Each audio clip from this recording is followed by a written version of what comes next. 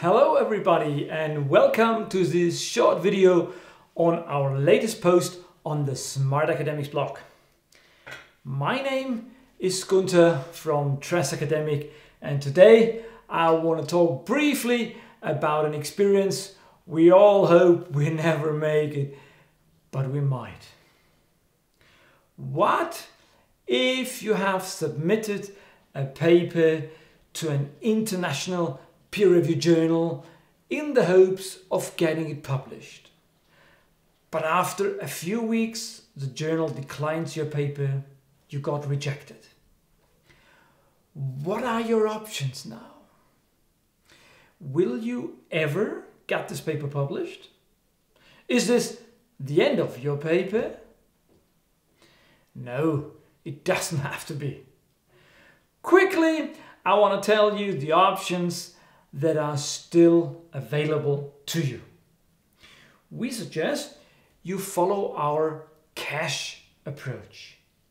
CASH simply stands for cool down, analyze the rejection letter, consider the options, and then head on.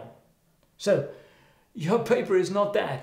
It's simply on hold or in your cache, waiting to be repurposed. The cash approach includes four steps. Step number one means cool down.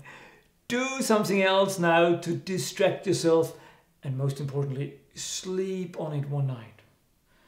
We've gotten rejection letters ourselves. We know it hurts.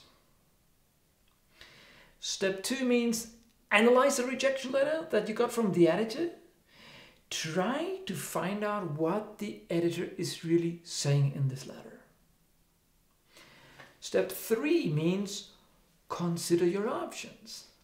As I said, your paper is not dead. You, you've got options now. You just will have to make a bunch of decisions. Basically, you need to answer some questions. And based on these decisions, on the questions, how you answer them, you'll have at least six options on how to proceed with your paper. The first decision, the first question you need to answer is, did you understand the editor's decision? The second one would be, do you consider the decision justifiable? The third one is, are you in a position to address the requested changes? And number four is, would you like to make the suggested revisions? So folks, the question on your paper is now revise or not to revise it. And depending on how you decide, you have at least six options now. Option number one means you resubmit a revised manuscript to the same journal. Option number two is you submit a revised manuscript to another journal. Option three is you submit the unchanged manuscript to another journal. Option four is you publish your work with another outlet in a, in a book, on a website, a conference. Option five, you discard the paper. And option six, you appeal. So you heard now the three steps of our cash approach. Step number four simply means head on. Make a decision.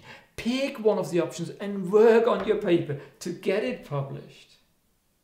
Folks, even if your paper was rejected by the journal of your choice, this usually is not the end of the road for your paper. All you need to do is follow our cash approach and identify your best option. To help you with this, we created a free decision tree to make identifying the best option even easier for you. Just go on the Smart Academics blog, look for post number 42 and download the free decision tree. It is called My Options After Being Rejected.